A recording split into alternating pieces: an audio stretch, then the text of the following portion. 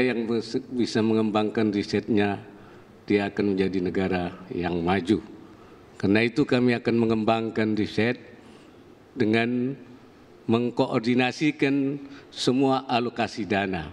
Sementara ini memang dana riset terbagi di kementerian dan lembaga. Tetapi nanti akan kita satukan supaya menjadi satu koordinasi dan akan kami bentuk Badan Riset Nasional.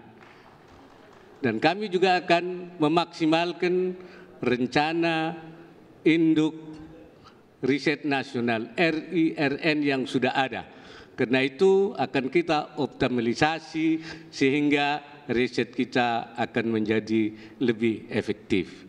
Samping itu juga kita sudah sepakat untuk menyediakan dana abadi riset di samping dana abadi pendidikan, dana abadi kebudayaan, juga dana abadi riset. Dengan berbagai upaya itu, kami yakin bahwa riset kita di masa yang akan datang akan berhasil memajukan negara ini dan kita menuju 10 years challenge